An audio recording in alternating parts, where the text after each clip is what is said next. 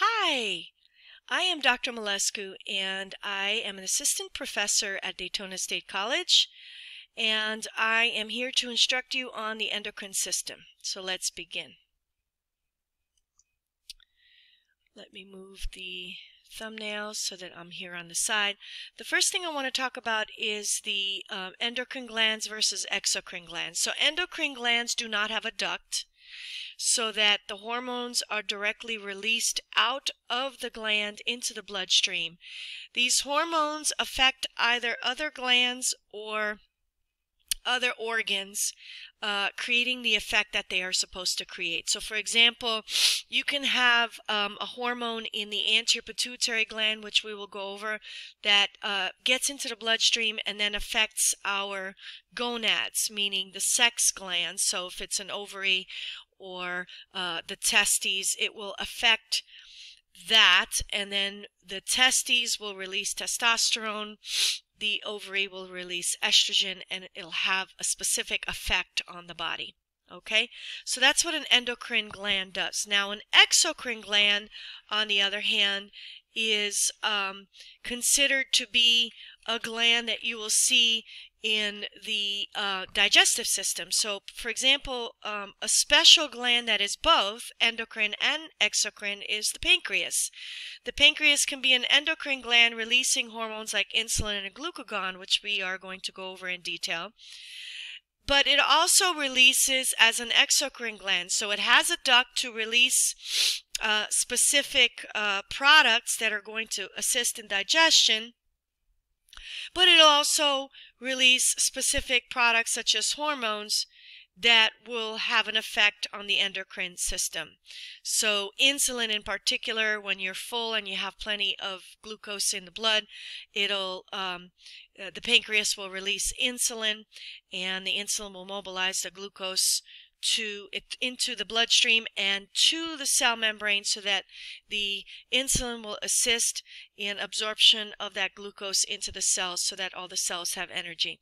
Now on the other on the same flip side, if you're hungry and you don't have enough sugar in your blood so your blood glucose goes below 50 and your brain is not functioning, your glucagon hormone will be released by the pancreas and it'll go straight to um, the liver, and from the liver, uh, the liver will break down um, and metabolize uh, glycogen into glucose molecules, which will then go into the bloodstream and eventually reach the brain. So now all of a sudden, now you're not going to pass out because you have enough uh, blood glucose.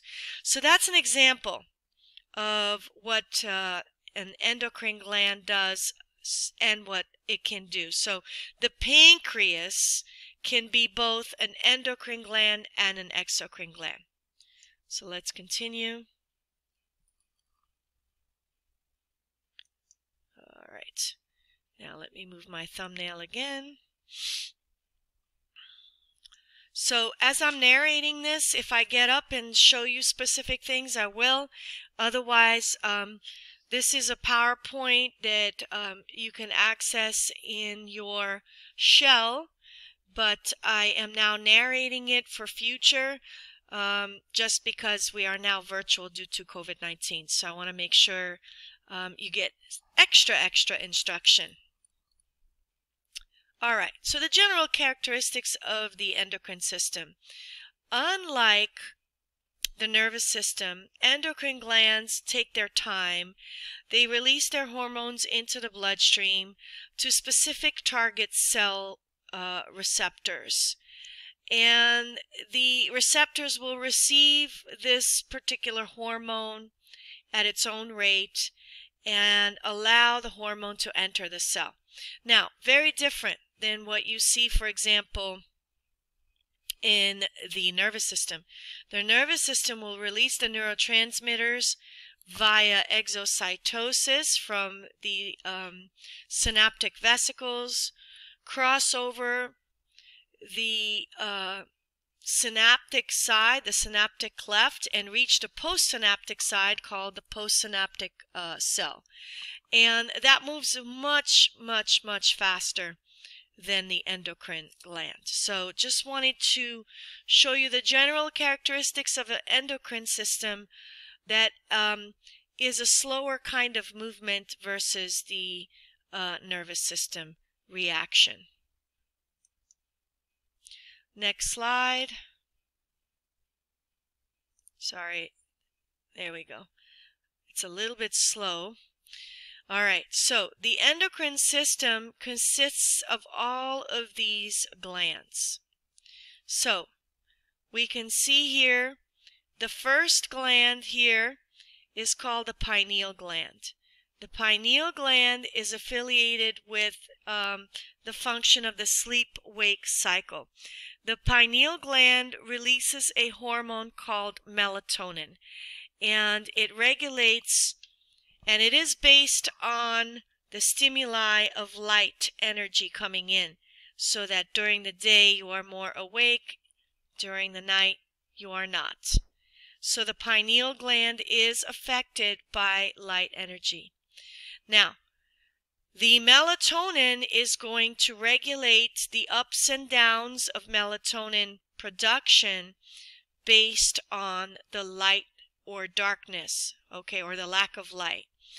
And so this regulates your sleep-wake cycle so that in the evening you start to get less active versus in the daytime.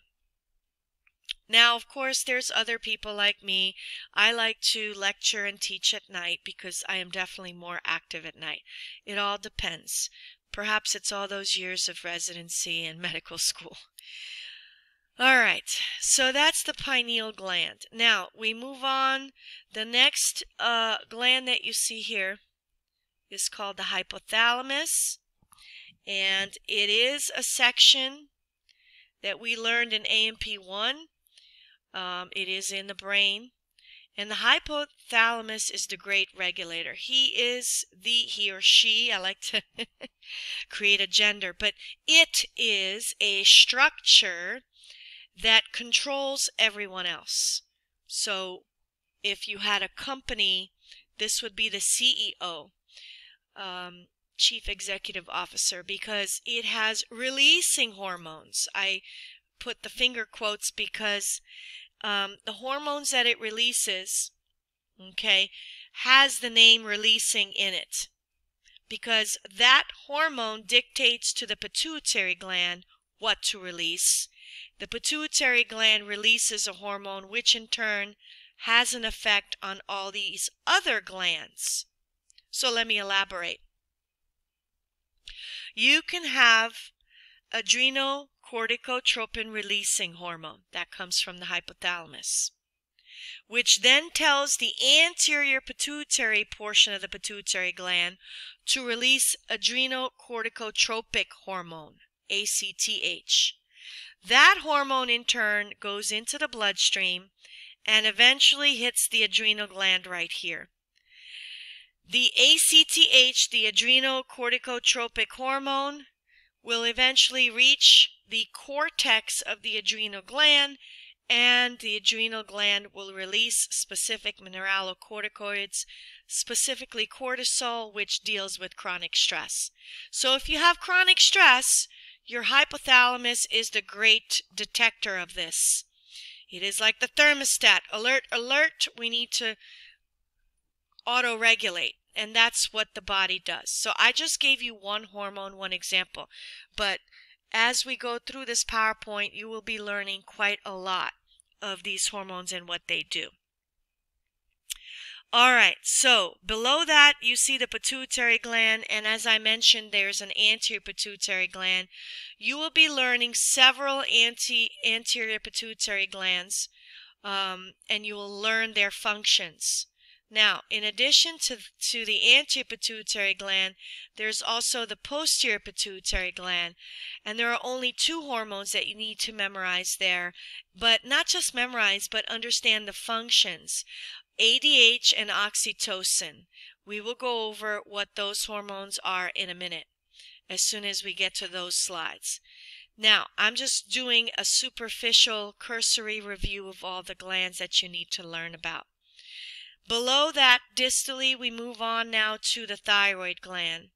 Behind the thyroid gland are two tiny, um, two superior glands and two inferior glands for a total of four, and they they are posterior or behind the thyroid gland. So the parathyroid glands, there are four little tiny seed glands behind the thyroid gland. So the thyroid gland and the parathyroid gland are involved in re- regulating quite a lot. For example, the thyroid gland regulates your metabolism. The thyroid gland also releases calcitonin when you have plenty of calcium in the blood. And the release of calcitonin will mobilize that excess calcium um, and cause osteoblastic activity, building of bone, and storing the bone as calcium phosphate. Now, behind or posterior to the thyroid gland, we have the parathyroid glands, which release parathyroid hormone, and that happens when the blood calcium levels are low. As you know, blood calcium, calcium is involved in muscle contraction.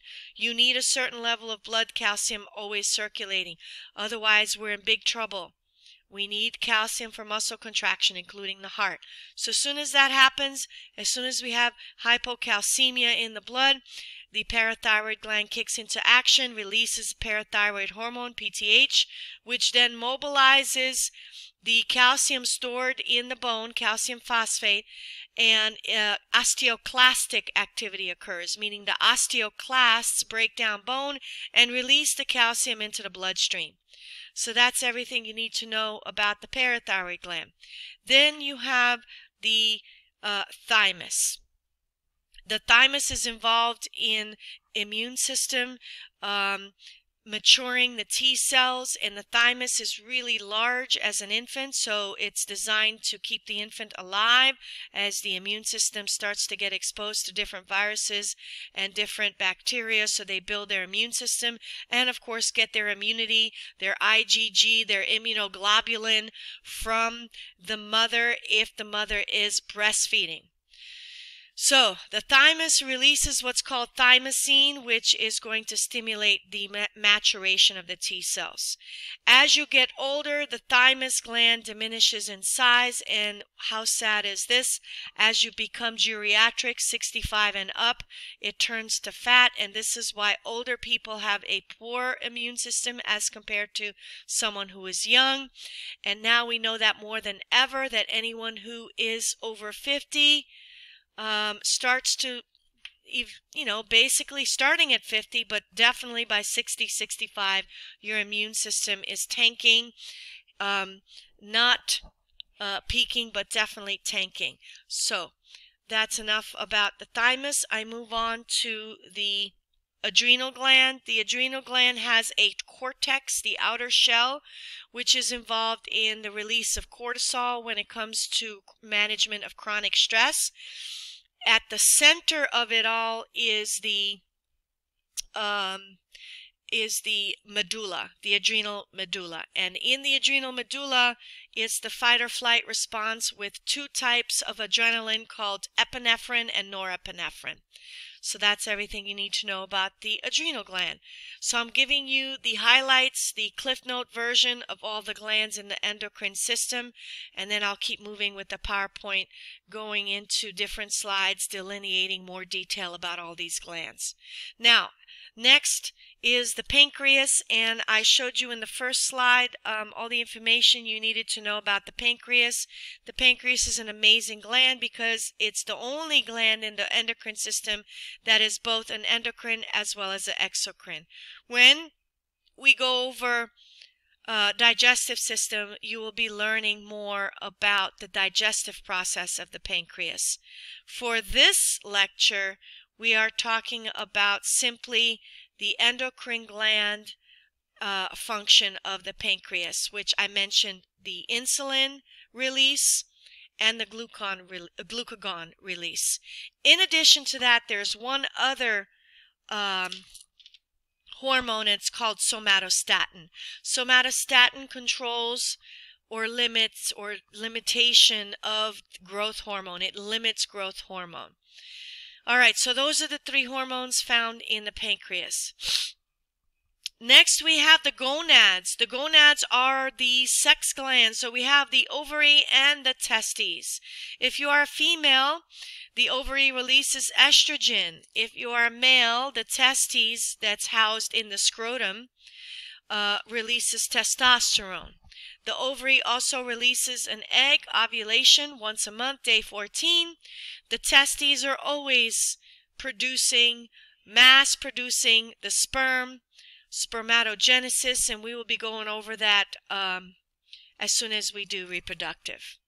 All right, let's move to the next slide. And here I am showing you a baby, a very cute little baby here. And this infant, um, I wanted to show you how large their thymus is. This proves that um, an infant is pretty much set to live. It is designed as such so that it can survive uh, due to the barrage of viruses and bacteria that it has not yet been exposed to. All right, let me keep going. Sometimes, there we go. Now, the next thing I want to show you, oops, I went back too far forward. The next thing I want to show you is the thymus um, as it relates to all the organs around it.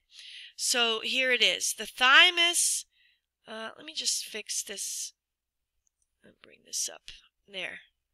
Hopefully you could see this better.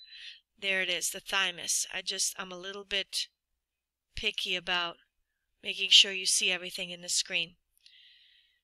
Okay, so the thymus plays a role in three systems endocrine, lymphatic, and immune. So it plays a huge role. Uh, it is a bilobed gland that uh, is found in the mediastinum. The mediastinum are all the structures superior to the heart and posterior to it. Um, the thymus gland is the site of maturation for the T cells, as I mentioned before, and it secretes the hormones uh, thymopoietin, thymosin, and thymulin. Uh, for purposes of this lesson, just remember the mature um, hormone is called thymosin, and that is what stimulates um, the development of other lymphatic organs and the activity of the lymphocytes, specifically the T lymphocytes. All right, let's keep going.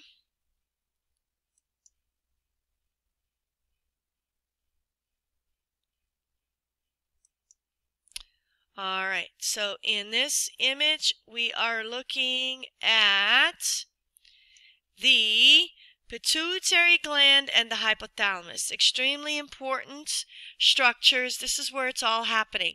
The hypothalamus, seen here in yellow, is the location of very specific releasing hormones that control and regulate the, uh, the um, release of hormones from the anterior pituitary and the posterior pituitary. Here's the lengthy stalk, and here's the pituitary gland. It kind of looks like um, an onion stalk. Now, hopefully you remember your A&P1, but just remember, remember this was the thalamus right here, and this is the hypothalamus. Remember that the pituitary gland sat in the sella turcica, that inside portion uh, of the skull, interior skull, and it was the body of the bat. Remember, the sella turcica was the body, and then the wings were this, the sphenoid, the greater sphenoid and lesser sphenoid. So hopefully you're not traumatized, but hopefully you still remember A&P1. But that's a little flash from the past about the pituitary gland sitting in the sella turcica. All right, let's keep going.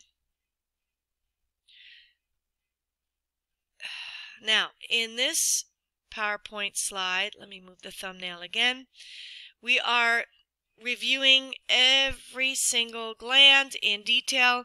The first gland that I want to go over is the pineal gland. As I mentioned before, it secretes melatonin.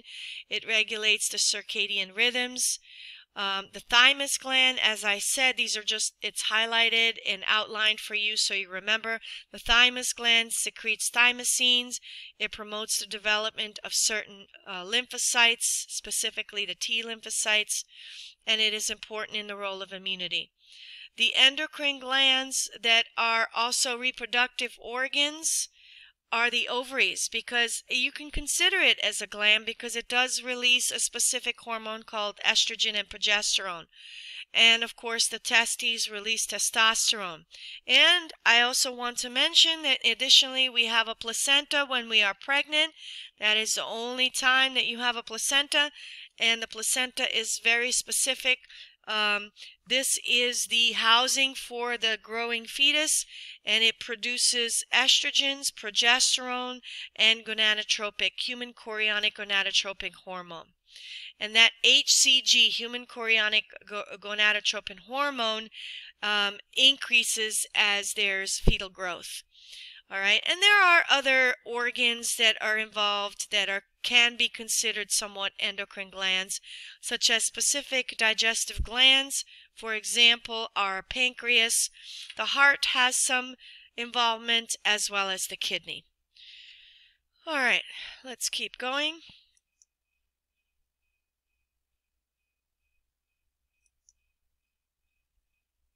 Now, more detail about the pineal gland. The pineal gland, after age 7, it undergoes involution or shrinkage. It shrinks to about 75% of its original size by the end of puberty. It's a tiny mass of shrunken tissue in adults. What does this pineal gland do? It, it, it is involved in the 24-hour circadian rhythm of daylight and darkness. It synthesizes melatonin from serotonin or serotonin, however you want to pronounce that, during the nighttime. This is why you need your rest because you need to regulate your melatonin. It does fluctuate seasonally with changes in the length of the day. It may regulate also, by the way, the timing of when the puberty um, phase occurs in humans. And it is uh, suspected that the pineal gland is involved in seasonal affective disorder, SAD. And literally, we are sad in the winter and especially in the northern climates because we never see the sun. We need the sun. We are beings that synthesize um, our chemical on our skin to activate our vitamin D, and all of that can only happen with sun rays hitting us.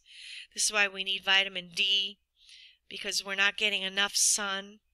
And the symptoms of seasonal affective disorder can be carbohydrate craving, that's why people gain weight in the winter, depression, sleepiness, irritability. Um, just simple two hours or three hours of bright light. You can do UV light lamp. Okay, will reduce the melatonin um, issue uh, and and symptoms. So we call that phototherapy. All right, let's keep going.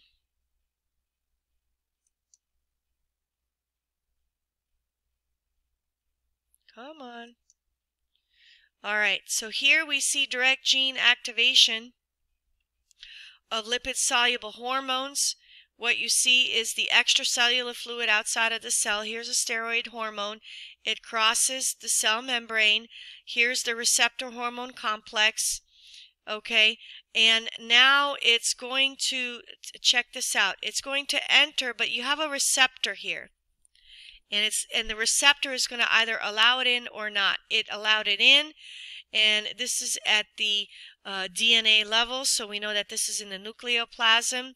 And so what we're seeing here is the mRNA uh, transcribing and creating the synthesis of a new protein, which basically you learned about protein synthesis in A&P1. So you see the steroid hormone diffuses through the plasma membrane, binds to the intracellular receptor. The receptor hormone complex enters the nucleus. The receptor hormone complex binds to a specific region of the DNA. Then the binding will initiate transcription of that gene. The mRNA does that, gets the message, sends it out for translation in the cytoplasm, and we now have a new protein. So we will have that new steroid hormone working for us.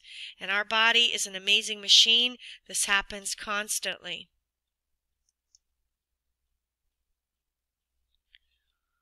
All right, and am I still recording? Looks like I am. Yes, okay, I just want to make sure because I'm narrating this PowerPoint. So let's go on to the next one. Okay, so the types of endocrine stimuli. We have humoral stimulus, neural stimulus, and hormonal stimulus. Humoral stimulus basically involves um, the hormone being released and caused by altered levels of certain critical ions or nutrients in the body, so lack of homeostasis. So it can be detected, like for example, I gave you the issue with the thyroid gland when there's low calcium. If there's low calcium levels in the bloodstream, then the thyroid gland will come to action and release um, I'm sorry, the parathyroid gland will come to action and release parathyroid hormone. Now, if your blood levels of calcium are high, then the thyroid gland is going to release calcitonin and take that calcium and mobilize it and store it in the form of calcium phosphate so that we build bone, the strength of bone with that calcium. All right. So again, all of this is detected either based on high calcium, meaning calcitonin thyroid gland releasing calcitonin, or low calcium. And this is what you see here. Low calcium, the parathyroid gland kicks in and releases parathyroid hormone.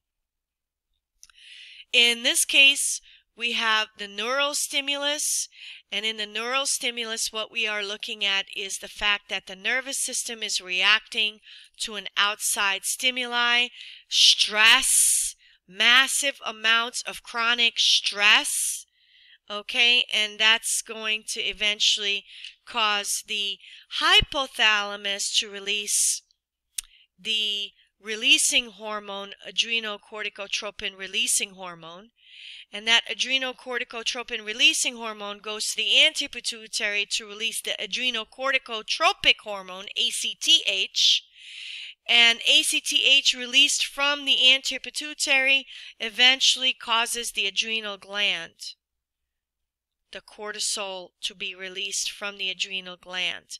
And so that is chronic stress. Now, in the case of neural stimulation, what you see here, is we bypass all of that. We don't see the cortisol effect. And it's not a humoral control or hormonal stimulus. Okay? So in this case, with the adrenal cortex, this is a hormonal stimulus directly by the hypothalamus. And I talked about the adrenocorticotropin uh, releasing hormone and then the ACTH, the adrenocorticotropic hormone, which then gets released and has an effect on the adrenal cortex. That's all humoral stimulus.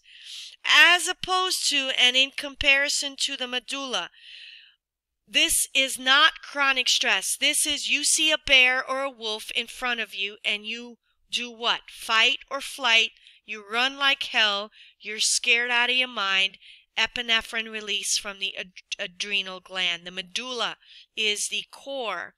The medulla is the center of the adrenal gland, and massive amounts of adrenaline is released. Norepinephrine and epinephrine into the capillaries, into the arteries, causing massive effects like superhuman strength to run, heart rate goes up, uh, respiratory rate goes up, all of that. Okay? So, this is an important concept, physiological concept to remember, so please don't forget. Humoral stimulus, neural stimulus, hormonal stimulus.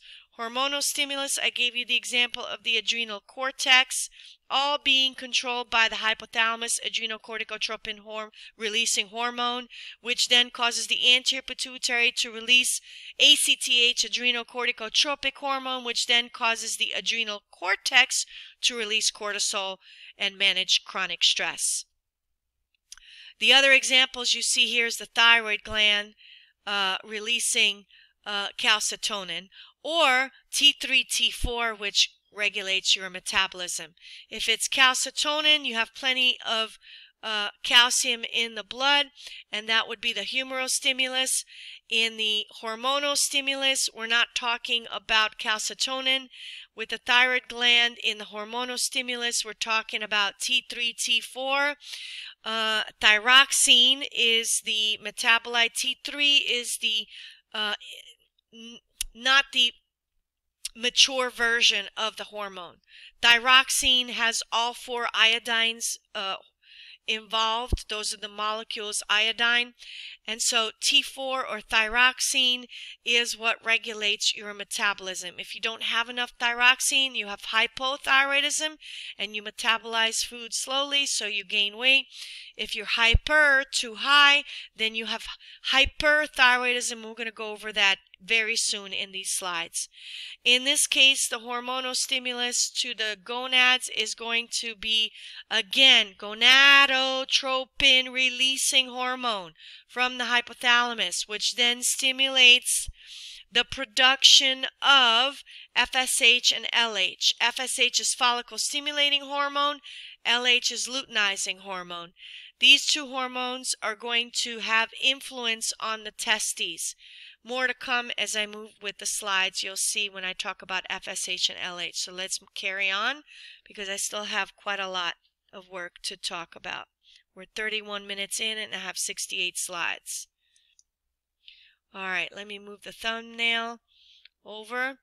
And here you can see the anterior pituitary uh, gland is going to have a negative feedback. If we have plenty of hormones that are released from the anterior pituitary gland, if we have plenty, we um, we pretty much in the bloodstream, all that excess hormone is going to tell the hypothalamus to stop releasing the releasing hormones and diminish production. All right, now in addition, the anterior pituitary releases a lot of this hormone, which causes other endocrine glands peripherally to release their hormone. So their hormone in turn will go back to both the anterior pituitary and the hypothalamus to diminish production. So that's called negative feedback. So what you're looking at here is negative feedback. Positive feedback is stimulation. All right, the next slide. Anterior pituitary hormones, there's a lot of them.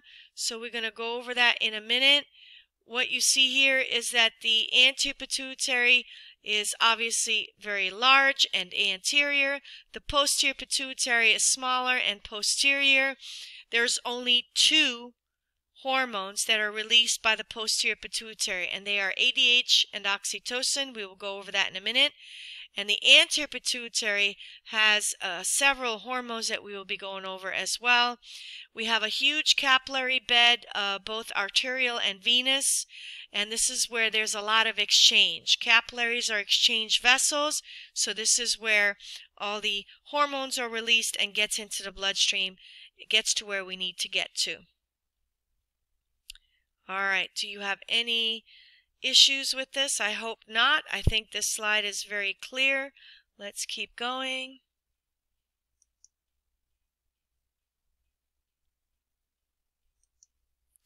So, the pituitary, the pituitary gland secretions um, have an influence on many parts of the body, as you can see here.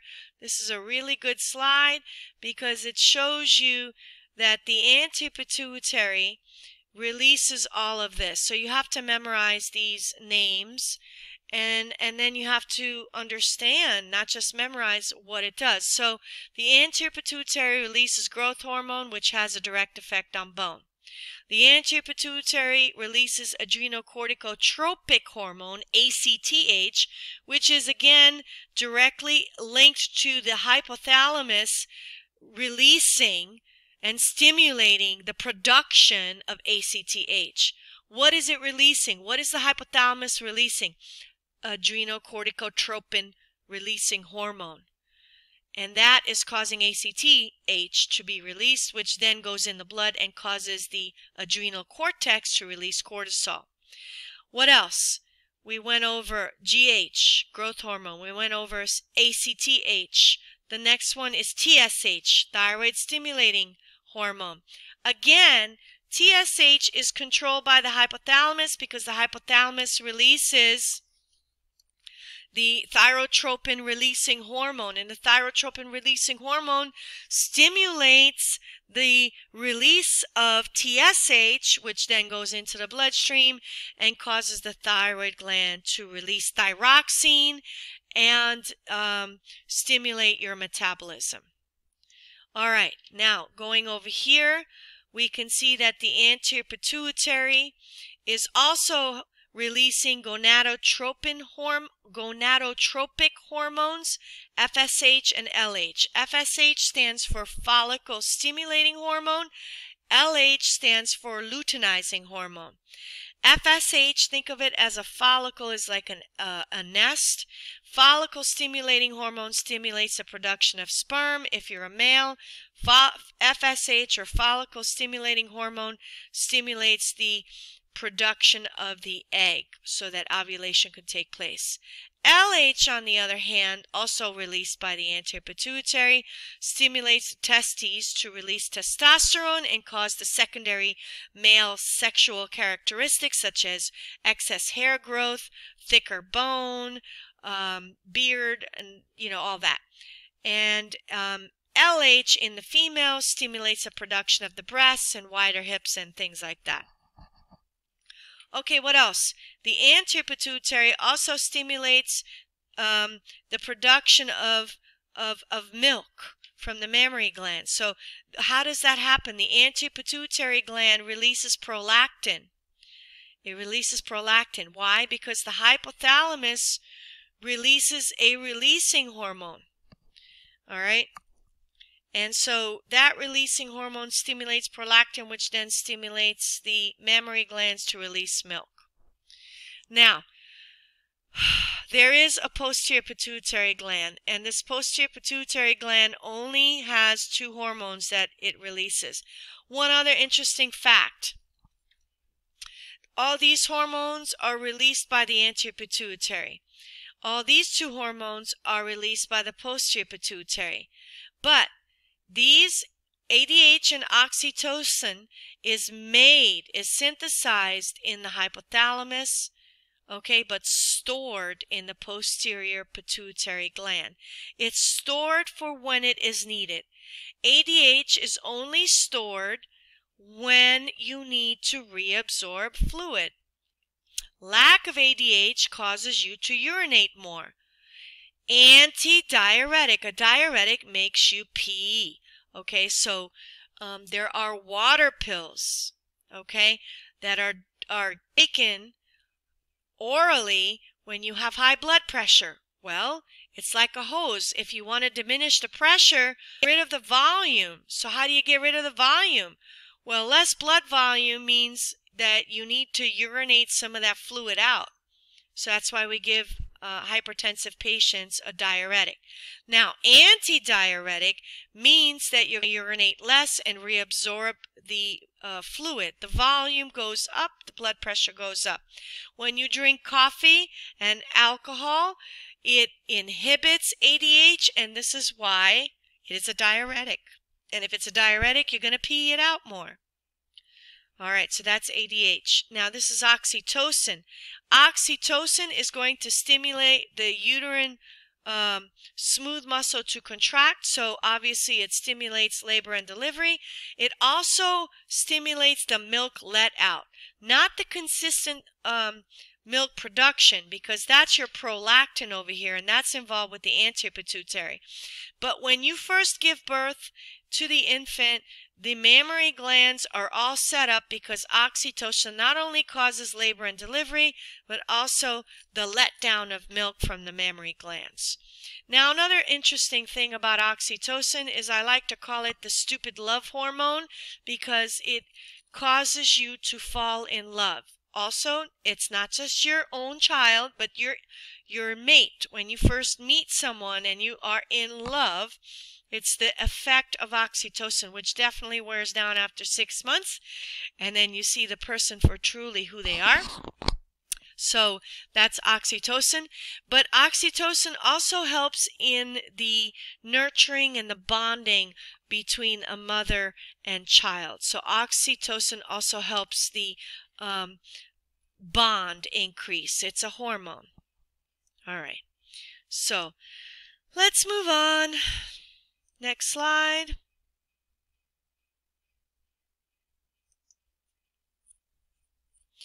Posterior pituitary hormone, as I said, this is a review. The old name, we don't use this term anymore. It's called vasopressin.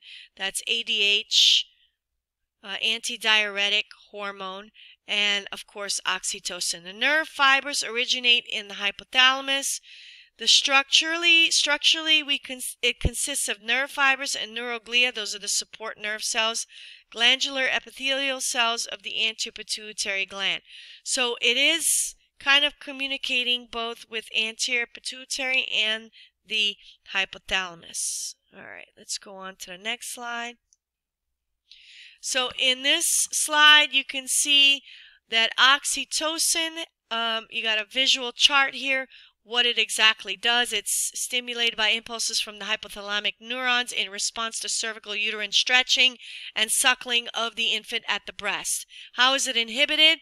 Lack of neural stimuli. So if you stop breastfeeding, the production goes down eventually to nothing. ADH, as I said, the old name is called vasopressin.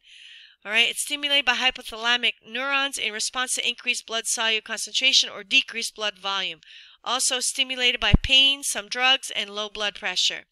Inhibition by adequate hydration of the body and by alcohol. So alcohol inhibits ADH big time, and so does so does coffee. Coffee, if you drink lots of coffee, you're going to urinate more. It inhibits ADH.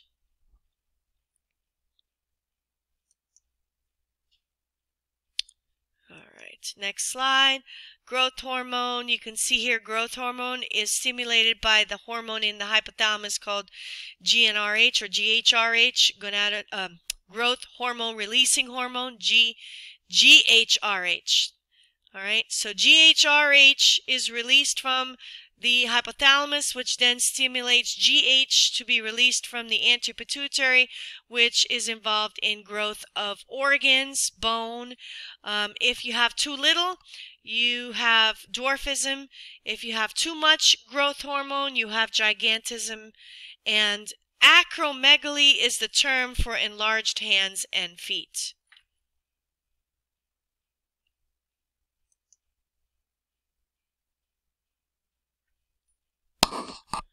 All right, I'm going to keep going. So here we see a table. This is all from um, the Pearson book um, showing the hormone, the regulation of release, the target uh, organ, and then of course the effects.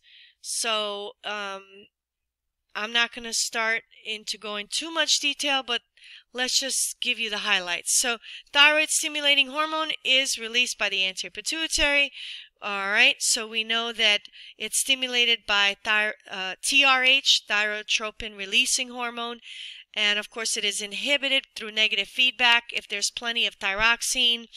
Uh, both the pituitary gland and the thyroid gland will diminish production at the hypothalamic level and the pituitary level. Thyroid gland, of course, once it's stimulated, is going to release the thyroid hormones. If you have enough thyroxine, um, you're normal. If you have too much, you have hyperthyroidism. If you have too little, um, it's called hypothyroidism. The other name for it is called myxedema. If you're born with it as a child, the child is um, mentally challenged, and crétin in French, C R E T I N, means idiot, not very politically correct. And this word is a very outdated term. We shouldn't even use it anymore. Cretinism, which means it means what it means because in French, crétin, I took eight years of French, uh, means idiot. So it just means that the child is born with severe uh, mental retardation. All right. Adrenocorticotropic hormone, ACTH. This is um, stimulated by CRH, which basically is the hormone coming out of the hypothalamus, uh, cortisol releasing hormone, and cortisol, uh, corticotropin releasing hormone, pardon me, is going to stimulate ACTH. How is it inhibited? By negative feedback. Too many glucocorticoids like cortisol, the production will go down. The adrenal cortex is what produces these mineralocorticoids. Um, short for that, we just say cortisol. All right. Too little, and we it's rare. We never have too little, but too little that's a problem. Too much, we have what's called Cushing's disease, and um, there's a specific body type that is associated with Cushing's. It has the truncal obesity, the buffalo hump, which is basically scapular fat. Um, and you'll see when we get to that section of the PowerPoint slides. Follicle stimulating hormone, it's stimulated by gonadotropic releasing hormone in the hypothalamus, but it is inhibited by inhibin and estrogens in females, testosterone in males. Okay? Um, Again, the target organ is the ovaries and the testes. Now, what happens if it's not working? Well, failure of sexual maturation. If it's too high, no important effects other than being quite fertile and virile, right? Okay, LH is going to stimulate, uh, is stimulated by GnRH, uh, but is inhibited by um, excess um, estrogen and progesterone in females, and if you're a male, it's testosterone, negative feedback. All right, and it's this, this whole thing, LH works the same as FSH.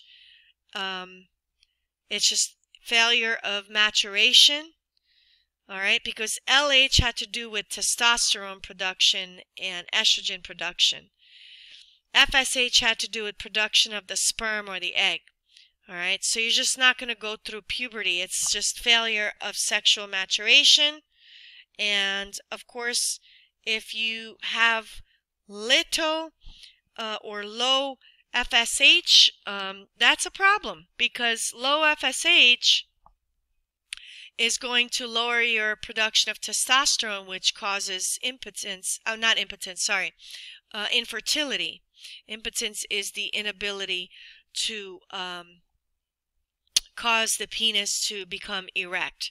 So, uh, infertility on the male's part is the fact that there's not enough production either of the FSH, which stimulates the, the spermatogenesis uh, and formation of mature sperm, or LH, meaning there's not enough testosterone and there's just not enough development in puberty.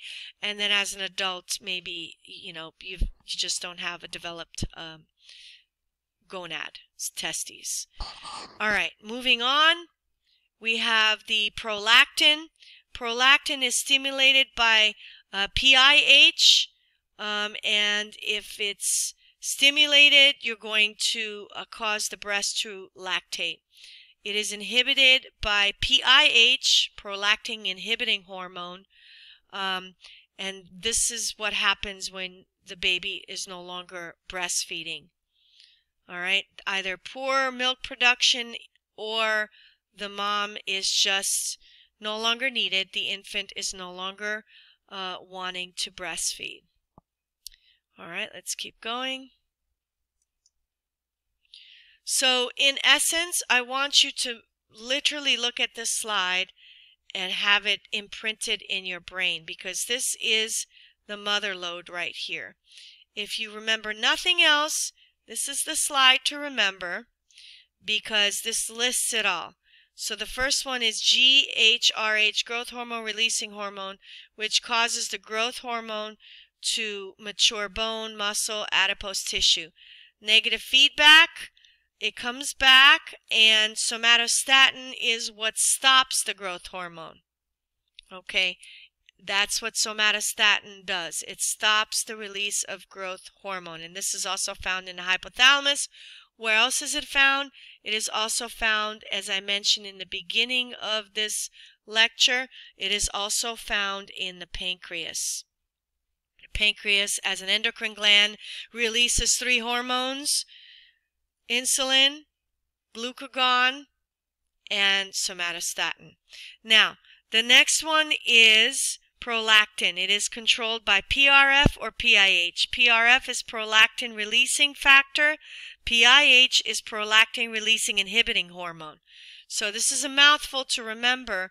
I would stick with memorizing and remembering the anterior pituitary um, hormones. These releasing hormones are all part of the hypothalamus. So PRL is prolactin. Negative feedback is basically if you have enough prolactin and enough milk, it's going to diminish production. So less production of uh, PRF. All right, moving on. TRH, thyrotropin releasing hormone, stimulates TSH, which then stimulates the thyroid gland to release thyroxine. All right, and again, there's negative feedback. If you've got plenty of thyroxine, TSH production diminishes and TRH production diminishes. Negative feedback. Then the next one here is corticotropin releasing hormone, which then stimulates um, the production of ACTH, adrenocorticotropic hormone, which then in turn stimulates the adrenal gland to release um, mineralocorticoids, specifically cortisol. And yes, if you've ever taken cortisone cream or prednisone, it is a synthetic prednisone Uh, is a synthetic version of cortisol that is part of our body releasing this particular hormone. Now, GnRH is an extremely important hormone. Gonadotropin releasing hormone. This is where you either are fertile or infertile as a male or female because GnRH is the hypothalamus. It's supposed to stimulate the production of LH and FSH. LH is going to stimulate the production of estrogen and progesterone in the ovary. LH is supposed to increase the production of testosterone hormone in the testes. FSH, in turn, is supposed to stimulate the production of the egg once a month during ovulation. FSH in the male is supposed to stimulate the production of sperm. And there you have it. That's what is seen here. You need to remember one, two, three, four, five, six anterior pituitary hormones. How many posterior pituitary hormones? Only two. The two posterior pituitary hormones are seen in the next slide. Uh, I think. No. The let me go back. I believe I had it previously. It was ADH and oxytocin. Um, let me go back, back, back. I'm going to go back just a few slides to show you. Right here, posterior pituitary was ADH and oxytocin. Okay? All right, moving forward again. Let's keep going. In this slide, we are learning uh, about the um, control of calcium. This is extremely important, so let's do it. So, the thyroid gland and the parathyroid thyroid gland are the major players. Let me move my thumbnail here. So, um, if your PTH is released, that is the situation where you have low blood calcium. So, low bloodstream calcium is the situation where the parathyroid gland is going to release PTH. PTH in turn will cause the breakdown of uh, bone to release calcium, and now calcium is released into the bloodstream. That's what you see here. Additionally, the PTH is also not only is, is it um, in the bloodstream now, Okay, but it is also influencing as it's moving through the bloodstream, it's also influencing the kidneys. And the kidneys at this point, in turn, because of the influence of PTH, is going to conserve as much calcium as possible, as well as activating the vitamin D. And the vitamin D, once it's activated, um, it flows through the bloodstream and reaches the intestines, which then absorb some of that calcium that comes in uh, through your food. And of course, it goes through the bloodstream. And so now you have plenty of calcium. There's negative feedback, diminish the production of PTH. And that's basically the positive feedback and the negative feedback on controlling the calcium in the blood. Because remember, you always have to have a certain level of calcium in the blood to stay healthy and contracting your muscles. All right, let's go to the next slide. So, the chemistry of the hormones, you can have hormones that are steroid like such as the sex steroids or the adrenal cortex hormones. And then we have non-steroid hormones such as amines, proteins, peptides, and glycoproteins. Let's keep going.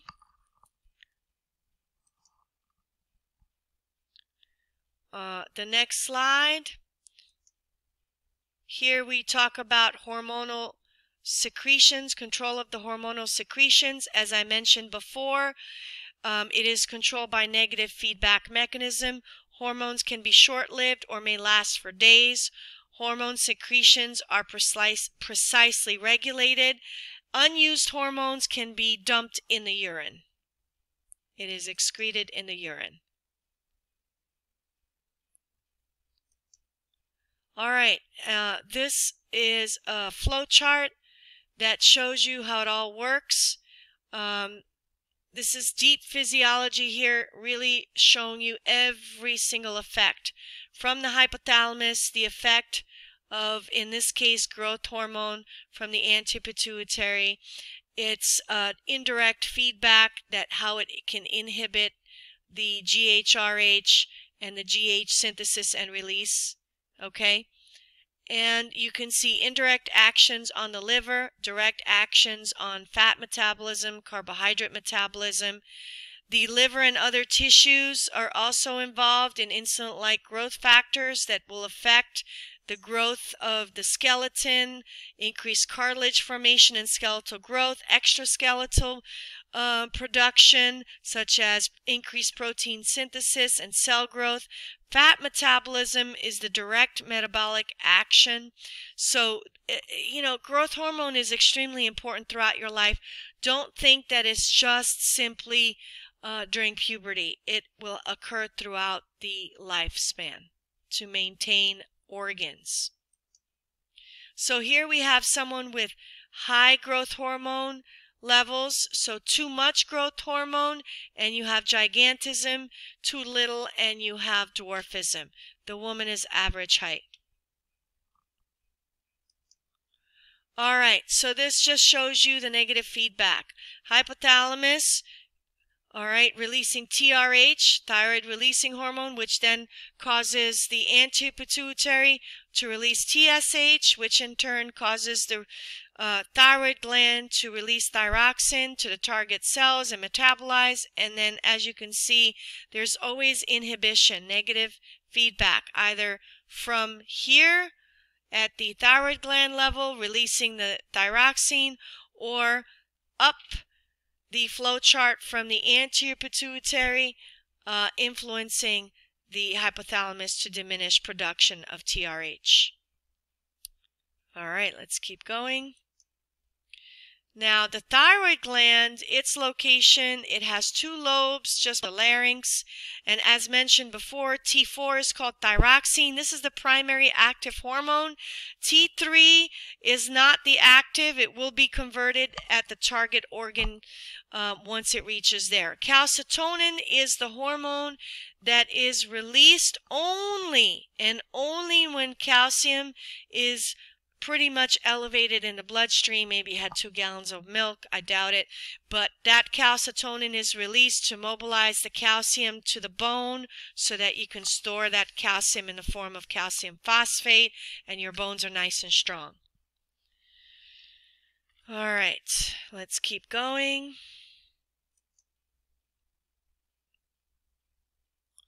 So far, we're at 59 minutes. So this slide shows you the thyroid gland and its location. As you can see, it's right below the thyroid cartilage. This here is the trachea.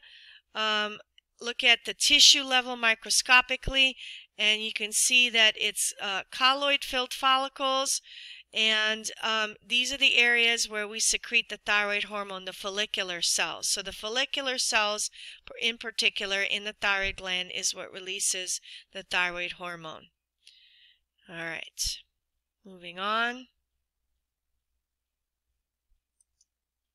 So posterior aspect of the thyroid gland, this is what you're going to see here.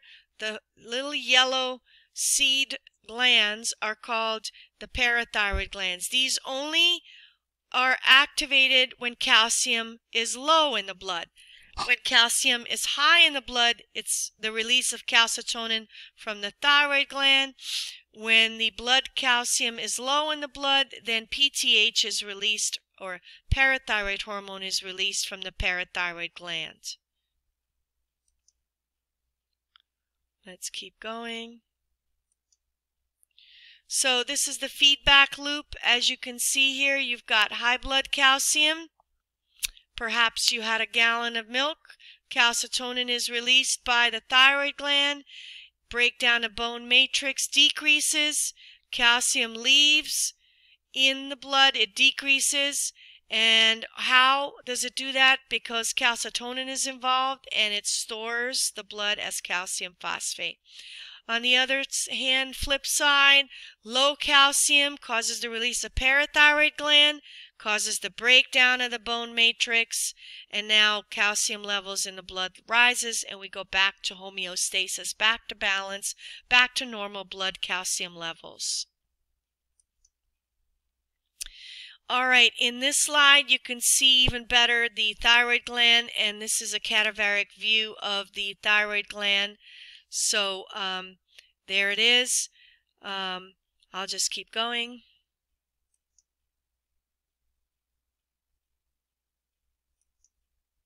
This is what's called an endemic goiter. And when you have thyroid issues, this is what happens. This is a very exaggerated version. I don't know how anyone could let this get so out of hand before finally going in and getting it surgically excised. Wow. All right, so let's keep going. I put that slide up for dramatic effect. All right, now, I'm not going to belabor this point because there's a lot of information here, but um, if you want to look up, uh, there's plenty of uh, charts out there that cause, uh, that uh, illustrate the system that's affected by the hormones shows you the normal physiological effects, the abnormal too low or too high. So let's start reviewing what you need to know. Um, bottom line is the synthesis of thyroid hormone is based and, fu and fundamentally based on the idea that you have enough iodine in your blood. So you can see that this is what's happening. Protein synthesis can only occur if there's iodine in the blood. So obviously I'm going to go right to the next slide and tell you that if you do not have iodine in your diet, you will get a goiter. Okay, now bulging eyes, on the other hand, is hyperthyroidism. Okay, and we call the term bulging eyes, it's called exophthalmos. And hyperthyroidism is called Graves' disease if it's an autoimmune issue. And it's just basically the immune system has kicked in and is attacking the thyroid gland. And um, basically, you've got hypersecretion of the uh, thyroxine. Um, hyposecretion is myxedema. All right. So these are the parathyroid glands. There's your thyroid gland. So this is a histological sample showing you what it looks like. All right. Now, the effects of parathyroid on the bone, kidneys, and intestine. Here it is.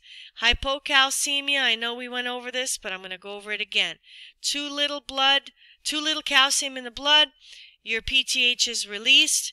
It causes osteoclastic activity. Clast means to break, chaos of society, K C, C, right? So osteoclastic activity is breakdown of bone. And when we break down bone, we have calcium in the blood. The increased calcium reabsorption in the kidney also will bring more calcium in the blood. The increase of activated vitamin D is going to cause the calcium reabsorption in the gut, all because of your kidney. All right, let's keep going.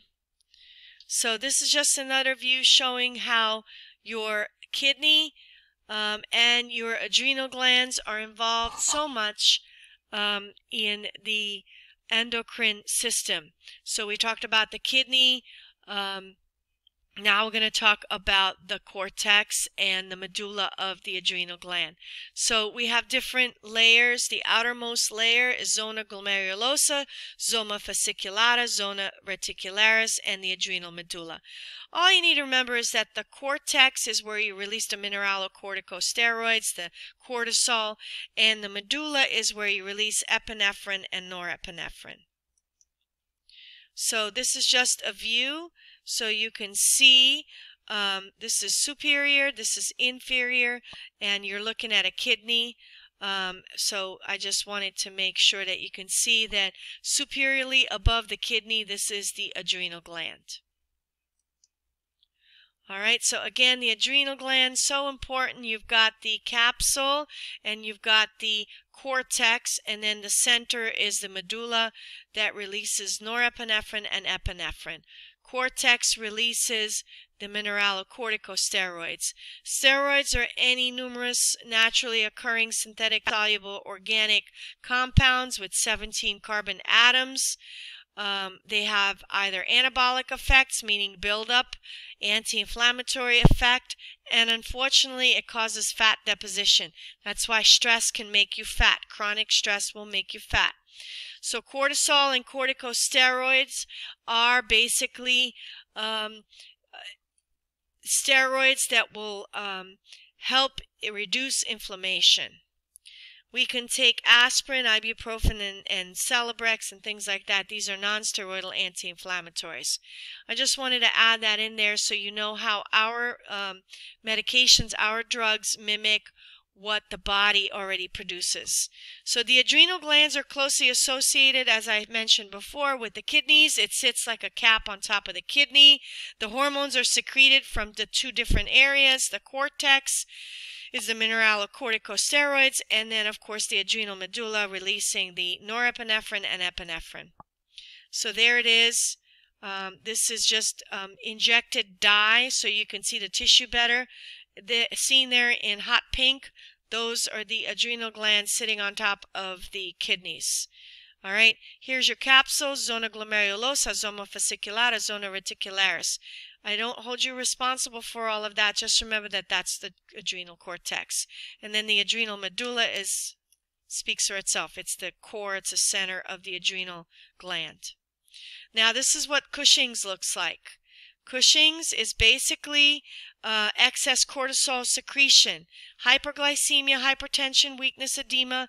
You tend to be obese, rapid muscle and bone loss due to protein catabolism, meaning protein breakdown. Abnormal fat deposition, you have a moon face, such as seen in this boy. And you have uh, what's called a buffalo hump, which is scapula fat in between the scapula. Take a look at problems with Cushing's, someone before Cushing's, and someone with Cushing's. All right, someone after treatment will have a nice neck, and then take a look at this uh, area here. That's usually an association with also a buffalo uh, hump or back fat, and usually that tells you that there's an issue with excess cortisol. So if you have a lot of stress, you're going to start to look like this. So don't have stress. Easier said than done. All right, so the mineralocorticoids are the other hormones called aldosterone. The glucocorticoids are basically the cortisol, for example, causing Cushing's disease. The opposite of Cushing's is Addison. So too little glucocorticoids or too little cortisol and you have Addison's. Gonadocorticoids are basically stimulated by ACTH, and unfortunately, um, if you're female and your gonadocorticoids are located at the adrenal cortex, and you have a tumor there, it's going to cause excess production of hair and masculinization of the of the female. All right, as as I said with the adrenal uh, medullary area. You have catecholamines. These are the adrenaline hormones such as epinephrine and norepinephrine. It is the fight or flight hormone. All right, so short-term stress, epinephrine, adrenal medulla. Long-term stress, cortisol, adrenal cortex. Adrenocorticotropic hormone is released by the uh, anterior pituitary causing the adrenal cortex to release the glucocorticoids or cortisol. And look what it does to you. Nothing good comes out of release of glucocorticoids. First of all, the proteins and the fats are converted to glucose. So keep doing that and you become diabetic because the body's eventually going to shut down and you'll become insulin resistant. And the blood glucose increases and the immune system is suppressed. Now, Additionally, the mineralocorticoids are going to cause the kidneys to retain sodium and water. Blood volume goes up. Now you have high blood pressure. None of this is good for you. All right. Now the pancreas, as you can see here, sits below the liver, um, but behind the stomach, you have the small intestine and you have the gallbladder. Just so you know situationally where the pancreas is. The pancreas has two major types of secretory tissue. You have um, three hormones in the area. Like I said, you have glucagon, you have insulin, and you have somatostatin. The cells that produce these hormones are alpha cells produce glucagon, beta cells produce insulin, delta cells produce somatostatin. All right, this is what tissue of the pancreas looks like under the microscope. I'll just keep going. Now, let's talk about diabetes because uh, over 40% of the population is overweight and some have diabetes. It is very common. So there's the diabetes that's adult onset and then there's the diabetes that juvenile onset. The juvenile onset is usually an autoimmune reaction from a viral incident in childhood that has caused the immune system to turn against the human and destroy the beta cells in the pancreas and now all of a sudden there's no production of insulin. So that's juvenile onset diabetes. Now, the diabetes that is more common is the adult onset diabetes and basically, the symptoms are polyuria, excess urine output, polydipsia, intense thirst, polyphagia, intense hunger. This is caused by chronic elevation of blood glucose because you have become insulin resistant. And insulin resistance can only occur if you've followed a very bad diet or you've not been exercising or all of it combined sedentary lifestyle and um, being overweight puts you at risk for non-insulin dependent diabetes uh, adult onset eventually if even the uh, medications if the oral medications don't work you can end up and convert to an insulin dependent diabetic so in this case, let's take a peek. We have the pancreas releasing insulin. When does that happen? When there's enough food and we need to get the glucose, the blood glucose back down a normal range.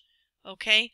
Now let's say if we don't have enough blood glucose, okay, if the blood glucose levels are low, let's say your blood glucose levels are under 50 because you're hypoglycemic for whatever reason you haven't eaten for, I don't know, 12 hours, your pancreas from the alpha cells will release glucagon. Glucagon goes to the liver. The liver will break down the glycogen into glucose. Now all of a sudden you have free glucose molecules in the bloodstream and voila, homeostasis. Your bloodstream will go back to normal blood glucose levels so that your brain, which cannot be starved of glucose, can still function until your next meal. So this is what your body does for you if you're fasting, for example. When you're fasting, glucagon is released in order to uh, mobilize the stored glucose in the liver. And that stored glucose is what we call glycogen. All right. Let's keep going. We're almost at the end. So let's discuss now type 1 diabetes versus type 2. So as I said, type 1 diabetes uh, uh, is juvenile onset diabetes. Uh, can you be a type 1 as an adult? Sure. That's the one issue. For example, if you have been a poorly controlled diabetic with oral medications, you can convert from a non-insulin diabetic to an insulin, di uh, insulin dependent diabetic. However, when we talk about juvenile onset, typically they are type 1, insulin dependent. Why? Because as mentioned, a viral illness in childhood is um, suspected to be the cause of the beta cells being destroyed through autoimmunity, your immune system turns against you and destroys the beta cells, which in turn now causes lack of insulin production. There's no insulin production. You cannot mobilize the glucose to the cells because there's no insulin. The insulin receptors need the insulin. All right, so what do you do? Exogenous insulin injection. You can start with insulin injections, go to insulin uh, pump, and now we even have the dry insulin inhaler. Uh, we need to monitor blood glucose levels and a very nicely controlled diet.